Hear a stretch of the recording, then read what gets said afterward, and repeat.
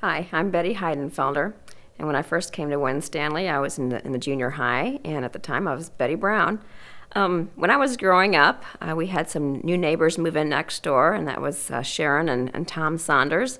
And they had two kids, uh, Kim and Kim and Todd, and my brother and I became really good friends with them. And I know they came to Winstanley, and on Sunday evenings, some Sunday Sunday evenings, they had uh, guests come over, and that was uh, Paul Flahan and Jeff Green, and we all became friends with them.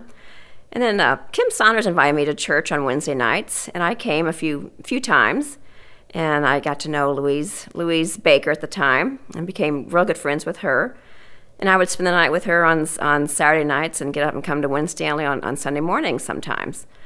So I would um, come here periodically um, through my junior high and high school years.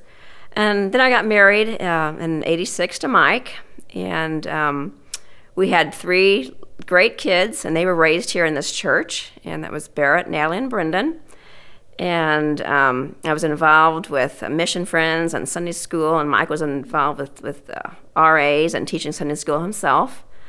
Um, we were involved with the youth, went on a lot of mission trips to Glorieta, and and did lots of things um, with this church. So i I just feel being involved with Winstanley, you just build a deeper relationship with God, and you just become closer to Him.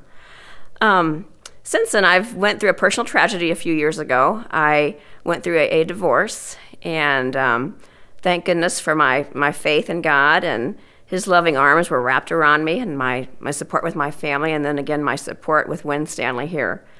I could feel the love and the um, and the the deep the, how they deeply cared for me. Um, so I'm just grateful for that. Um, so then again, I just love to serve the Lord, and I think Winstanley is a great place to um, come and do that.